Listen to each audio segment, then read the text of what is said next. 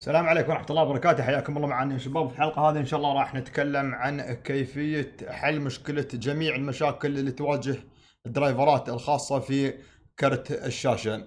عن طريق استخدام برنامج واحد من أفضل البرامج اللي يقوم بمسح جميع الدرايفرات اللي تخص كرت الشاشة.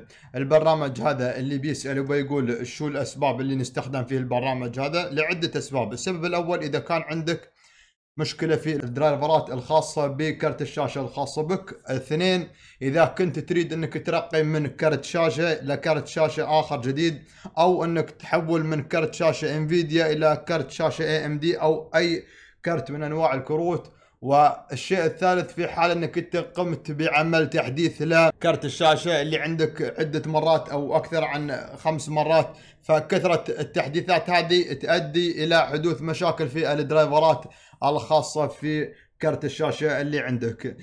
في حال إنك ما استخدمت البرنامج هذا في فترة من الفترات فأنصحك إنك تستخدمها الآن لأن كثرة الدرايفرات و إنك في حال إنك ما قمت بمسح الدرايفرات بشكل كامل ياثر على أيضا ال FPS عندك وعلى سلاسة اللعب.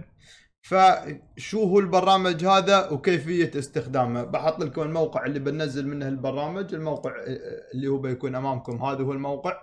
واحد من أفضل البرامج هذه يا شباب اللي يستخدم في مسح التعريفات والدرايفرات الخاصة في كروت الشاشة. وبعد ما تدخلون على الموقع هذا تختارون اللي هو الخيار اللي أمامكم ال DDU اللي هو إصدار 18.8 اللي هو آخر إصدار. لأن البرنامج هذا بين كل فترة وفترة يتم تحديثه. فأنت اختار الإصدار الأخير واضغط عليه click وبعد ما تضغط عليه click اختار على click here for download and support يعني تضغط للتحميل والدعم لكن اللي عنده يعني مقدر على الدعم يدعم واللي ما عنده فراح يتحمل عنده البرنامج هذا بشكل مجاني. بعد ما تقوم بتحميل البرنامج عندك على جهاز الكمبيوتر عندك عن طريق صيغة الملف المضغوط قم بتنصيبه على جهاز الكمبيوتر. أنا بتكلم عن كيفية تنصيب البرامج. عملية تنصيب البرامج واضحة للجميع.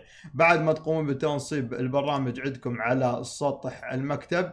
يا شباب البرنامج هذا ما تقدرون تستخدمونه أو ما راح تقدرون تستخدمونه لكن ما راح يعطيكم الأداء اللي المفروض إنكم تستخدمونه. يجب استخدام البرنامج هذا على ال safe mode. ما تستخدمه عندك في الوضع العادي. يجب عليك إنك تستخدمه في وضع ال safe mode.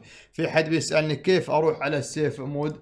تروح على ال search عندك ومن ال search تكتب run وتكتب في ال run msconfig بعدها تضغط enter وبالطريقة هذه راح تدخل على ال system configuration بعدها تضغط على خيار ال boot. بعد ما تدخل تضغط على خيار ال boot. تضغط على خيار ال safe boot وبعدها apply OK. الخطوة هذه يا شباب أنا ما أقدر إني أتبعها معاكم. ليش؟ لأن إذا ضغطت على apply OK راح أدخل على ال safe mode بعد عملية إغلاق جهاز الكمبيوتر. لازم تقوم بعمل اغلاق عمل إغلاق لجهاز الكمبيوتر وراح يدخلك على ال safe mode راح تشوف عندك الشاشة تغيرت. راح تشوف الأيقونات كبرت. وضوح الشاشة عندك أيضا أصبح مش واضح وبتشوف عندك كلام في الأسفل وفي الأعلى ال safe mode.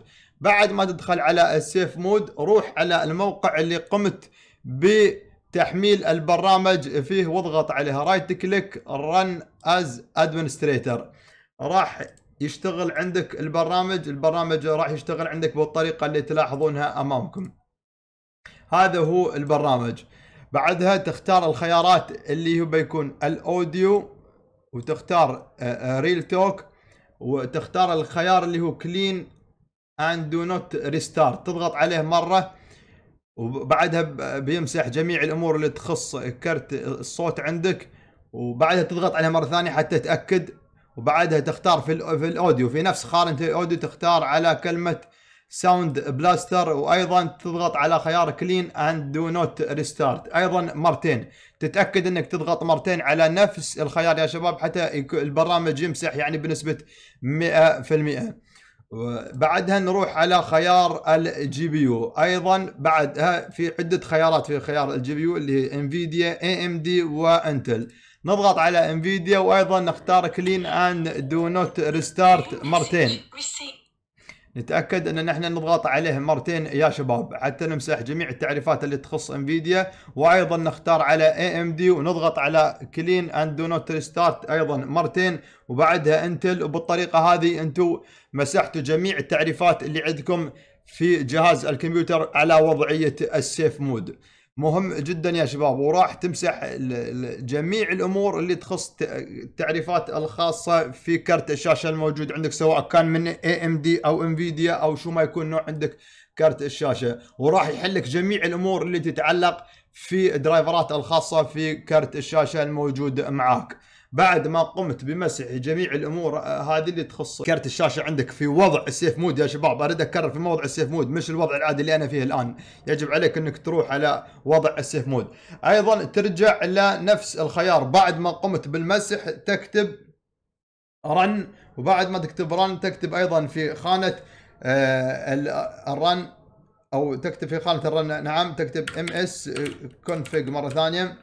config وتضغط OK وترجع لل boot وتشيل علامة الصح إذا كانت موجودة. إذا كانت موجودة عندك علامة الصح على ال safe mode تشيلها. إذا ما كانت موجودة خلها مش موجودة بعدها تضغط على apply OK. أعد تشغيل جهاز الكمبيوتر عندك وراح تدخل على الوضع العادي. بعد ما تدخل تدخل على الوضع العادي أنت الآن راح تشوف الأمور تغيرت عندك. ما راح تشوف الشاشة مثل ما كانت سابقا. ليش؟ لأن الآن جهازك ما فيه أي درايفر أو ما يقدر يقرأ اللي هو كرت الشاشة الخاص فيك. ما عندك أي مشكلة. أه، لعنه في أه، في احتمالين. يا أن جهاز الكمبيوتر بيحمل عندك تعريفات الخاصة بكرت الشاشة عندك أو تقوم بتحميلها بالطريقة اليدوية. كيفية تحميل الدرايفرات الخاصة بكرت الشاشة عندك؟ تروح على الموقع اللي بحطه أمامكم الآن في ال description سواء كان كان نوع كرت الشاشة عندك من Nvidia أو كان نوع كرت الشاشة عندك من AMD إذا كان نوع كرت الشاشة عندك من Nvidia فهذا الموقع اللي راح تنزل من التعريفات الخاصة في كرت الشاشة اللي عندك. أول شيء تروح على الخيار الأول تختار نوع كرت الشاشة عندك. آه، إذا كان من نوع Titan أو من أو إذا كان من نوع GeForce غالبية كروت الشاشة تكون من GeForce اللي هي ال 2000 وال 1900 بعدها تختار شو نوع كرت الشاشة عندك؟ إذا كان من ال 2000 اللي هو الكروت الجديده 2000 2060 2070 2080 2080 Ti فتختار اللي هو ال RTX 2000 نوع ال notebook أو إذا كان لاب عندك لابتوب فتختار ال notebook إذا كان عندك جهاز PC اللي هو desktop تختار آه، اللي هو بدون ال notebook وإذا عندك كروت ال 1000 1080 1070 1060 1080 Ti و 1080 فتختار اللي هو ال GeForce 10 نوع كرت الشاشة عندي اللي هو ال 1080 آه، نوع إصدار الجهاز عندي هو ال 64 bit وباقي الأمور تخليها نفس ما هي اللي هو ال standard download type وال language English أو على حسب اللغة اللي عندك تناسبك فتنزل اللغة اللي تناسبك غالبا الإنجليزي هي للجميع.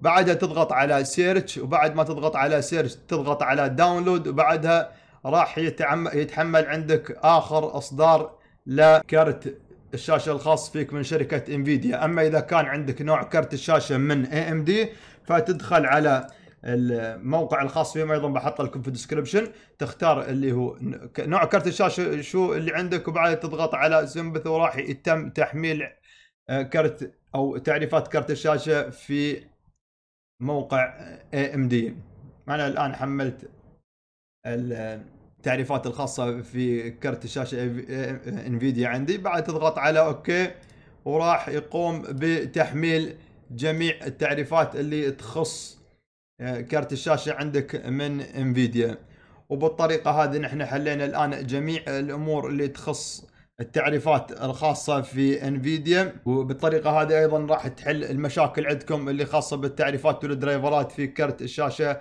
عندكم. بالطريقة هذه أيضا حملتوا أنتم آخر تعريف من شركة انفيديا اللي عنده أي سؤال أو استفسار يا شباب يكتبها لنا في وصف الفيديو.